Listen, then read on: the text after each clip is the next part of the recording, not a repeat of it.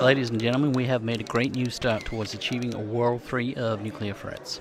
Da, da, it is a very good new start. Now we have only enough nuclear weapons to obliterate the planet a dozen times. That's 12 times. Mesdames et messieurs, we will absolutely not tolerate a nuclear armed Iran or North Korea. Only we can be trusted with nuclear bombs. Our bombs are good bombs. Yes, a stupendous outcome achieved by my fellow statesmen. And as the world knows, our nuclear weapons are purely for maintaining peace. They play a key role in a strategic balance. At a lengthy deliberation, we have now been able to reach consensus.